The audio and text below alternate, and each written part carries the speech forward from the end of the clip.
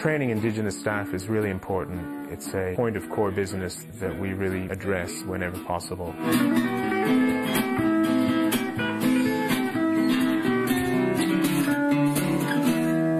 Once you've done the melody, you can start, you solo and stuff like Oh, that. Yeah. you ever done any of that? No, no, no. We should, we'll, we'll work on some of that. I'll show you. You play the melody once and then you play the chords, mm-hmm. and I'll try and muck around over it. Okay? Because music is something that is of interest to the uh, wider community, we'll get people with music skills coming in and getting involved in the school who otherwise wouldn't be there.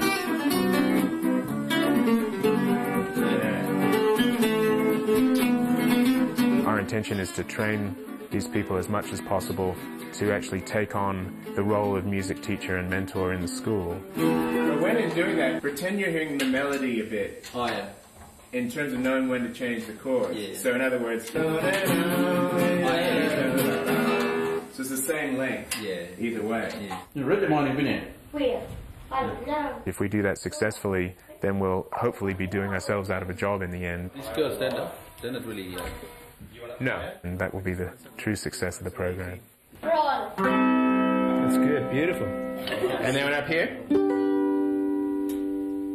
See where the two dots are? Yeah. Ah, That's good. That's very good. Try it again. Let's try both.